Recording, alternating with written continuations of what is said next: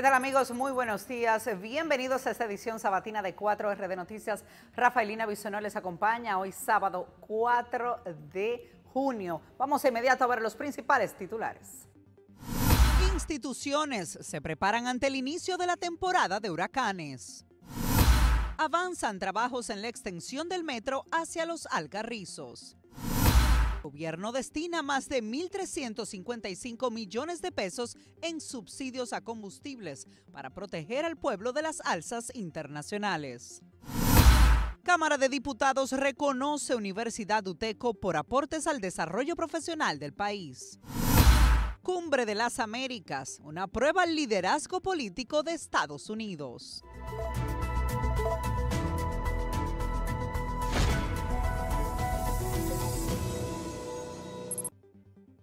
Iniciamos las informaciones con tres personas que fueron ultimadas la tarde de ayer viernes por varios desconocidos en el interior de un vehículo.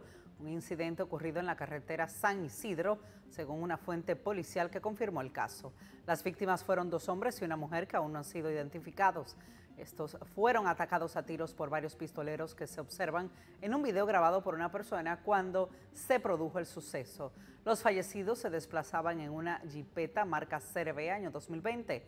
Al lugar se presentaron unidades de la Dirección Central de Investigaciones Criminales de la Policía de CRIM. Una fuente dijo pues a la DICRIN que el caso es investigado y que trabajan para localizar los videos de las cámaras del Sistema Nacional de Emergencias 911 que habrían grabado las escenas del incidente. Bueno, en tanto les contamos que la Oficina para el Reordenamiento del Transporte OPRED informó sobre nuevos avances en el proyecto de la línea 2C del Metro de Santo Domingo que llegará hacia los Alcarrizos. Allí en los próximos días y a cargo de la empresa contratista Ingeniero Estrella se comenzarán los trabajos de tunelación para interconectar las cinco estaciones que forman parte de la importante obra. Se trata de la finalización del portal de transición que dará paso al túnel y al viaducto. La vía elevada, cuya longitud será de 6.5 kilómetros aproximadamente, conducirá a los trenes hacia y desde la entrada de los Alcarrizos para interconectarse con el teleférico, el cual será su fuente principal alimentadora. El túnel de interconexión de este proyecto, que será entregado a principios de 2024, tendrá una longitud aproximada de 800 metros. La construcción de las obras civiles de dicho túnel igualmente estarán bajo la responsabilidad de Ingeniería Estrella, con vasta experiencia en este tipo de trabajos. El presidente Luis Abinader agota una intensa agenda de trabajo en Santiago. Allí hizo entrega de viviendas y dejó inaugurada una carretera, así como el primer Picasso para la construcción del Centro Cultural Horacio Vázquez, entre otros proyectos. Vamos a ver los detalles. La jornada de trabajo del presidente Abinader inició encabezando el acto de inauguración de los nuevos edificios de la Unión Médica de Santiago. Más tarde, el mandatario encabezó el acto de Supérate, donde reiteró que su gobierno está enfocado en llevar ayudas sociales a las familias más necesitadas, por lo que ha destinado el 2% del Producto Interno Bruto para estos fines. Estamos invirtiendo casi un 2% más del Producto Interno Bruto en ayudas sociales, en el gabinete social, a la persona desde seguro médico que le hemos dado de Senasa, hasta Supérate, hasta el doble en, en los medicamentos de alto costo. Hemos incrementado también la medicina, estamos mejorando los hospitales. Es un gobierno que quiere ir de la mano con el pueblo, con todo el pueblo dominicano, porque soy el presidente de todos los dominicanos, no de un sector, sino de todos los dominicanos y de todas las dominicanas. Inmediato se trasladó hacia la Avenida Francia para proceder con su inauguración. Esto no ha sido un simple asfaltado o recapeo. Aquí ha habido todo un saneamiento de la base, toda una corrección de problemas de drenaje que de manera casi centenaria afectaban a esta vía y en su 1.6 kilómetros se reconstruyeron todas sus aceras, todos sus contenes y un saneamiento a la base y a la subbase que soporta esta vía. El presidente de la República también hizo entrega de unos 100 apartamentos a través del Ministerio de la Vivienda, donde resaltó la importancia que tiene para su gestión que las familias dominicanas tengan su primera vivienda. Y este plan tiene una inversión de más de 15 mil millones de pesos, como dijo Carlos, y que pretende beneficiar a un aproximado de 25 mil personas que podrán tener un techo propio y con su título. Se dice fácil pero ha sido un gran esfuerzo en equipo llegar aquí hoy en tiempo récord. Este gobierno llegó para cambiar la manera en la que servimos a nuestros ciudadanos y este proyecto es la prueba. Queremos que todos los dominicanos vuelvan a creer en sus gobernantes. Y cumpliendo con nuestra promesa de cambio, hemos realizado una justa selección de los beneficiarios del Plan de Vivienda mediante un proceso transparente en el que quienes cumplen con los requisitos pasan a la siguiente fase. Señor presidente, su primera comida está en mi casa. Hoy comeremos juntos. Hoy es su casa. Feliz y contento. Somos vecinos, somos todos compañeros. Gracias a todos. A esto dio el primer Picasso para la construcción del Centro Cultural Horacio Vázquez, el Museo del Cigarro y la reinauguración de la calle del mismo nombre. A las 7 de la noche, además, el jefe de Estado tiene previsto asistir a la inauguración del Dominican Cigar First Tamboril. El sábado el presidente Abinader continuará con su larga agenda de trabajo y será el próximo domingo cuando la concluirá con sus actividades laborales. Este lunes Luis Abinader viajará hasta la ciudad de California, Estados Unidos, para asistir a la Cumbre de las Américas. Para 4R de Noticias, Solange Soto. Bueno, y a propósito del inicio de la temporada ciclónica, el administrador general de la empresa de transmisión eléctrica dominicana, Martín Robles Morillo, informó que esta empresa está lista para hacer frente a las situaciones que pongan en riesgo las infraestructuras eléctricas del país. Águeda Solano con las declaraciones. El plan de contingencia para la temporada ciclónica de este año contiene las estrategias que implementará la empresa de transmisión eléctrica dominicana para garantizar la estabilidad, calidad y continuidad del servicio de energía eléctrica a nivel nacional, así como disminuir el impacto que pueda ocasionar el paso de los fenómenos atmosféricos en el sistema de transmisión nacional. Dicho plan fue elaborado por el Comité de Emergencias de la ETED y consta de seis fases que son preparación, mitigación, respuesta, contingencia durante el huracán y después del paso del huracán. El titular de la entidad, Martín Robles Murillo, explicó que el personal técnico estará llevando a cabo el programa de inspección de las condiciones de todas las instalaciones de empresa para minimizar los daños que se pudieran derivar de los efectos de los fenómenos atmosféricos. Estas actividades constan de limpieza de canaletas y desagüe de todas las subestaciones, evaluación de subestaciones, mantenimiento de barras, levantamiento de los caminos de acceso a las principales instalaciones del sistema de transmisión nacional y poda de árboles. Además, en caso de que algún fenómeno impacte directamente en territorio nacional, la empresa tiene planteada la división de las instalaciones de la empresa en 26 centros de trabajo, 11 centros de acopio, que contarán con personal, materiales, herramientas y equipamientos para actuar independientemente en caso de que queden aisladas las zonas de responsabilidad del personal por rotura de puentes o por obstrucción de las vías de acceso. Para 4R de Noticias, Águeda Solano. El director ejecutivo del Instituto Nacional de Aguas Potables y Alcantarillado INAPA, Wellington Arnaud, destacó que el acueducto Múltiple Miches va a garantizar el servicio de agua potable en cantidad, calidad y presión a más de 20 mil personas, al tiempo de indicar que la obra tendrá la capacidad de dotar a más de 18 mil habitaciones hoteleras para el desarrollo de la zona. De acuerdo al funcionario, con las obras se crean condiciones para el desarrollo de la provincia, al destacar que con el inicio del acueducto suman más de 1.550 millones de pesos en materia de agua potable y saneamiento en la demarcación. Ese compromiso que hizo el presidente Luis Abinader hoy es una realidad y aquello que escribió un sabio de esta provincia, que este es un pueblo rodeado de agua, pero que muere de sed, a partir de este momento inicia el proceso, que eso sea cosa del pasado. De manera que cuando venimos aquí no es que vamos a anunciar que eso se va a hacer en tal fecha, es que ya en estos momentos está en ejecución el acueducto múltiple de Oigan bien, no era que poniendo 200 millones al año, Dijo que la inversión en el sector agua potable y saneamiento demuestra que la salud de la gente es una prioridad para el gobierno que encabeza el presidente Luis Abinader, ya que en los últimos 16 años, del 2004 al 2020, solo se ejecutaron 260 millones. De acuerdo a lo expresado por el funcionario, estas acciones forman parte de la promesa de campaña del presidente Abinader y de un encuentro con juntas de vecinos de la comunidad, así como con el clúster turístico de la demarcación. Señores, si el gobierno asumirá el 100% de las alzas de todos los combustibles, destinando más de 1.355 millones de pesos para proteger la economía de los hogares y las familias dominicanas.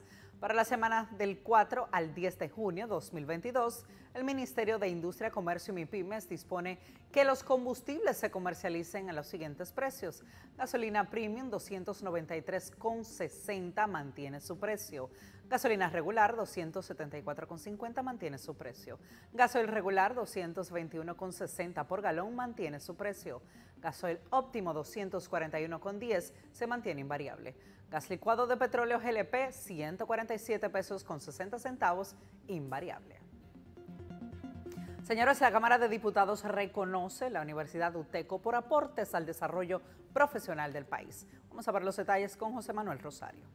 La Cámara de Diputados de la República Dominicana reconoció a la segunda universidad pública, la UTECO, por sus grandes aportes al desarrollo profesional de la provincia, la región y el país, esto atendiendo a un proyecto elevado por el diputado Gerardo Concepción. Quiero aprovechar esta ocasión para decirle que tanto, tanto aquí en la Cámara de Diputados yo espero el apoyo de mis colegas como también de todos los sánchez ramirenses, para que sigamos luchando a favor de UTECO, que entendamos de una vez por todas lo que significa UTECO para Sánchez Ramírez y que así como estamos haciendo hoy la Cámara de Diputados un reconocimiento a UTECO, sea desde el Palacio Nacional que se le haga un reconocimiento a UTECO, aumentando los fondos que necesita. En aquel momento en que la provincia Sánchez Ramírez estaba expuesta,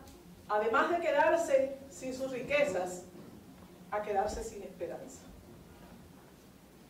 Y esa gran idea ha hecho que hoy el gran aporte a la provincia y al país sea de 20 mil egresados que han impactado de manera muy particular Suma ya más de 20.000 egresados de esa alta casa de estudio superior, lo que significa un gran avance y apoyo para la economía de la zona e instituciones del Estado. Desde la provincia Sánchez Ramírez, para 4RD Noticias, José Manuel Rosario. El presidente Luis Abinader aseguró este viernes que su gobierno dispondrá de todos los recursos que sean necesarios para garantizar la paz y tranquilidad de República Dominicana. Al ser consultado por periodistas en Santiago, el mandatario manifestó que al mismo tiempo se sigue trabajando con la reforma policial. Le hemos dado los golpes más duros al narcotráfico que jamás se han dado y ahora lo vamos a enfrentar al microtráfico. Aquí va a haber tranquilidad en los barrios y lo vamos a lograr al El día de ayer, el mandatario dispuso la activación de un operativo conjunto con acciones que llevará a cabo la Policía Nacional con el apoyo de las Fuerzas Armadas. El operativo que fue desplegado en todos los barrios, municipios y provincias del país tiene el objetivo de garantizar la paz y tranquilidad de los ciudadanos. Como una medida necesaria y positiva, calificaron consultados sobre la implementación del patrullaje mixto para contrarrestar la delincuencia. Nuestra periodista Catherine Sánchez nos informa que con gran optimismo fue recibida esta noticia por la ciudadanía. Combatir la delincuencia y el crimen organizado es prioridad del gobierno dominicano. El presidente Luis Abinader lanzó ese jueves un operativo conjunto con la Policía Nacional y los miembros de las Fuerzas Armadas para el combate a la delincuencia y los instruyó a actuar con respeto a los derechos humanos, pero con firmeza. De manera positiva valoran ciudadanos consultados por 4RD Noticias la implementación del patrullaje mixto para combatir los actos delictivos. La mezcla de los organismos de fuerza militar junto con la Policía Nacional puede ser un plus eh, en un acuerdo que, que se quiere hacer para mitigar la delincuencia en el país.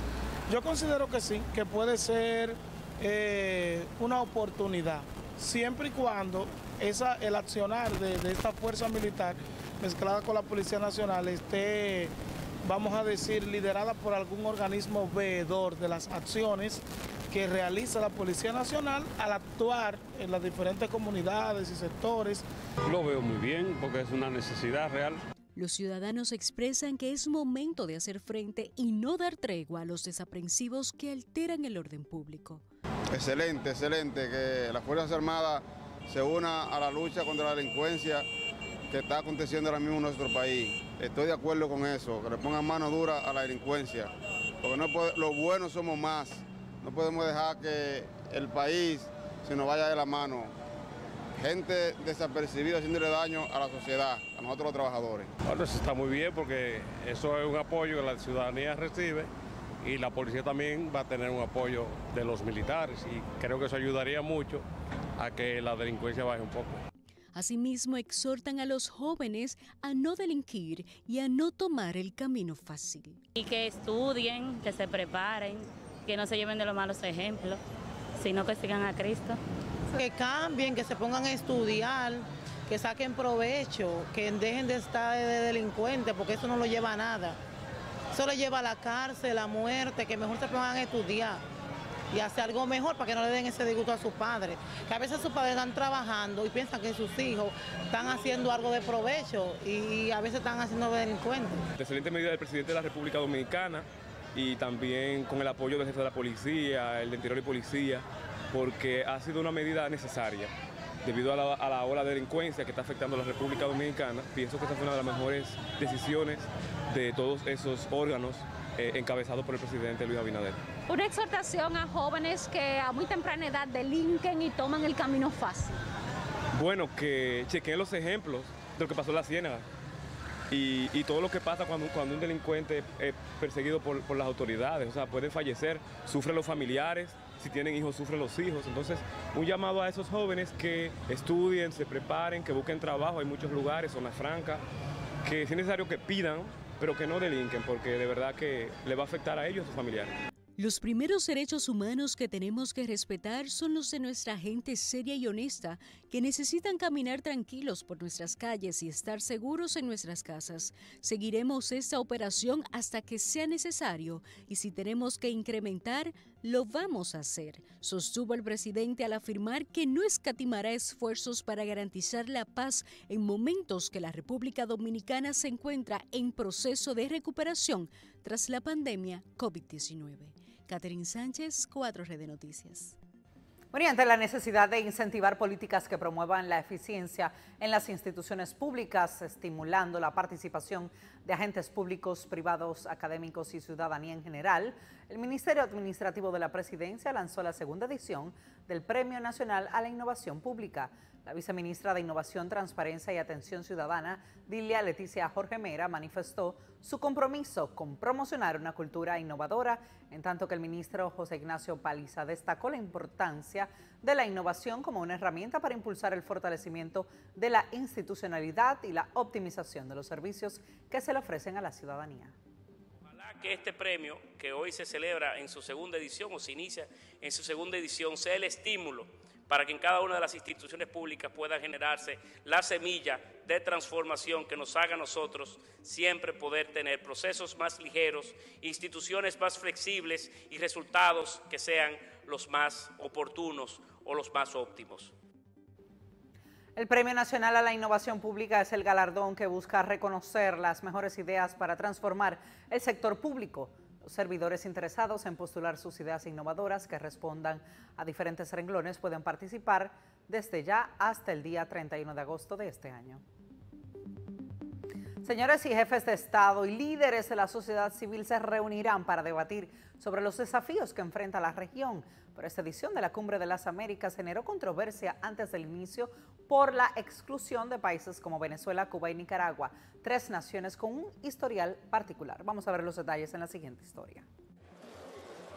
A las puertas de una nueva cumbre de las Américas, crecen las expectativas sobre los acuerdos que se puedan lograr en materia de democracia, desarrollo económico y migración para la región. Es que tras cuatro años y una pandemia que azotó el hemisferio, jefes de Estado de más de 30 naciones volverán a encontrarse para discutir temas de interés regional. Pero no es solo el futuro del continente lo que está en juego, afirman expertos, sino el liderazgo de Estados Unidos en la región. Que tenemos que esforzarnos mucho mejor en convencer a todos los países de la región a, relacionarnos con usted y mantener una buena relación bilateral. Liderazgo que se ha visto bajo fuego cruzado en las últimas semanas, con las amenazas de boicot por parte de algunos líderes de la región por la exclusión de los gobiernos de Venezuela, Cuba y Nicaragua en el foro internacional. ¿Hemos invitado al régimen de Maduro o a alguno de sus representantes a la cumbre? Absolutamente no. Nosotros no los reconocemos como un gobierno soberano. Una situación que no es inusual, ya que no es la primera vez que la participación de los gobiernos de Venezuela, Cuba y Nicaragua está bajo cuestionamiento. De hecho, en 2018, durante la última edición de la Cumbre de las Américas celebrada en Lima, la invitación del presidente Nicolás Maduro fue revocada ante el anuncio de elecciones presidenciales anticipadas, lo que generó el rechazo de los participantes. Entre tanto, la presencia de Cuba ha sido motivo de controversia desde el inicio. Durante la primera cumbre de las Américas en 1994, fue el único país que no fue invitado y desde entonces la presión para incluir una representación de la isla fue creciendo, hasta que en el 2015 participó por primera vez del foro internacional. Pero según analistas, el panorama político de esta cumbre de las Américas es distinto. Por primera vez desde el inicio, en 1994, Estados Unidos será el anfitrión de este encuentro internacional en Los Ángeles. La administración del presidente Joe Biden ha tenido que sortear los cuestionamientos dentro y fuera de Estados Unidos, entre otras cosas por el manejo de las invitaciones a las distintas delegaciones de participantes. No se puede pretender ser una cumbre de democracia si en la mesa están sentados elementos claramente antidemocráticos y en realidad lo que hace es que les da credibilidad. Hay credibilidad por ser invitados a estos foros. Una situación que, según expertos, evidencia el complejo escenario político con el que Estados Unidos debe lidiar en la región. Ese es el escenario donde está transitando una administración que tiene mucho que perder desde el punto de vista de la política doméstica por el efecto que tienen las elecciones en el sur de la Florida. Pero por otra parte, la región no puede seguir permitiendo que aquí aumenten las, las autocracias. Por lo que en palabras de los analistas, esta cumbre de las Américas se constituirá en una dura prueba para el liderazgo de Estados Unidos, en un momento en que Latinoamérica atraviesa profundos desafíos políticos, sociales y económicos. Después de esta cumbre, ojalá que se dé cuenta la administración que tiene que cambiar sus políticas hacia Latinoamérica. Una región que, de acuerdo con expertos, debe estar entre las prioridades de la política exterior de Estados Unidos en momentos en que actores como China y Rusia compiten por un mayor protagonismo en el continente. Belén Mora, Voz de América, Washington. A propósito, este es RTV Canal 4, estaremos dando cobertura especial desde Los Ángeles, California, todos los detalles de esta novena cumbre de las Américas y la participación del presidente Luis Abinader. De esta manera concluimos esta entrega sabatina de 4R de Noticias. Pasen todos ustedes feliz fin de semana. Soy Rafaelina Bisona, hasta la próxima.